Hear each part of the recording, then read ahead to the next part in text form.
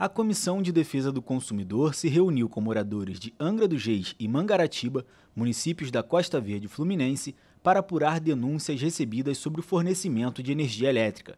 A Enel, empresa responsável pela prestação do serviço, tem tido inúmeros problemas em várias cidades do estado e já foi tema de audiência pública em CPI e comissões realizadas no Parlamento Fluminense. A Ilha Grande, região conhecida aqui em Angra dos Reis pelo turismo, chegou a ficar 48 horas sem luz, causando dor de cabeça para os moradores e prejuízo para os comerciantes. Eu não sei se é uma falta de compromisso dos nossos representantes, né? Ou se é uma falta de pessoas que possam estar no dia a dia trabalhando em campo para estar resolvendo. Mas é, é muito doloroso quando você vem ou vai para casa de um, de um dia de trabalho, né? E que você espera, na verdade, ter uma energia, ter um, um momento para você ligar ali um ventilador, um ar-condicionado, quem tem condições, né? e você se depara com, muitas das vezes com uma falta de fase na, na energia. Muitas das vezes é, é uma sobrecarga de algumas pessoas, de um, irresponsáveis, né? que vão lá e fazem uso indevidamente, mas muitas das vezes não é. E nós aqui em Angra dos Reis, eu vou falar de Angra, onde eu vivo hoje há 31 anos, né? Nós temos enfrentado isso ao longo do tempo. Não está nem chovendo, não está ventando, nós estamos sem energia.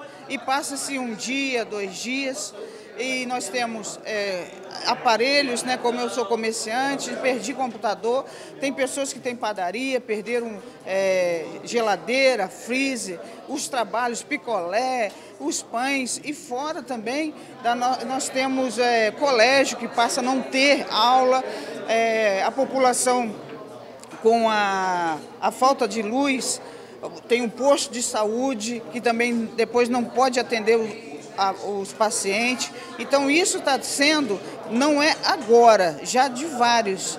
E não está sendo assim uma vez no mês, mas constante. O deputado Marcelo Dino presidiu a audiência pública e ressaltou a importância de ouvir a população, destacando os prejuízos em diversos setores da sociedade por conta da falta de energia elétrica. Na realidade, nós somos uma ponte né, entre a população, poder executivo ou até as próprias concessionárias. Então, a CPI é de suma importância. Nós sabemos agora que a concessão termina em 2026, estão no processo de avaliação. Eu espero que o, o ministro né, possa ter um olhar diferenciado e possa exigir um pouco mais. Se for continuar com a Enel, mas que bote, faça um contrato olhando principalmente a população.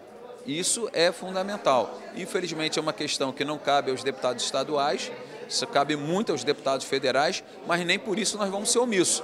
Nós vamos fazer audiência pública, nós vamos guerrear, nós vamos na ANEL, se tiver que ir lá em Brasília, que é o único local que tem uma sede, isso é inadmissível. Então, os deputados federais também têm que ter a posição deles e tem que botar um pouco mais a cara, não ficar só em Brasília e depois final de semana aí passeando. Essa é a grande realidade.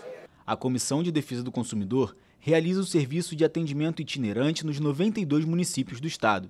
O advogado da comissão, Vitor Andrade, explicou como a população pode buscar os seus direitos através da Codecom. A primeira medida que o consumidor tem que adotar é procurar imediatamente a empresa e não deixar de anotar os protocolos, tá? Isso vai ser dado um prazo ou não sendo atendido ou esse prazo não sendo cumprido, ela deve procurar, em especial, a Comissão de Defesa do Consumidor da Alerj. Ela pode procurar outros órgãos de Direito do Consumidor, mas a Alerj fornece esse atendimento que é gratuito. Ele atende os 92 municípios do estado, é, do estado do Rio de Janeiro. Inclusive, temos uma comissão, qual estou coordenando no momento, e que faz visita aos municípios, aos bairros, para poder cap, é, captar essas reclamações, dar atendimento, também fazer educação sobre o consumidor nessa relação de consumo, não só nessa, em todas as outras questões, e vamos notificar empresas é, de imediato e, elas têm um prazo de 10 dias para apresentar uma resposta.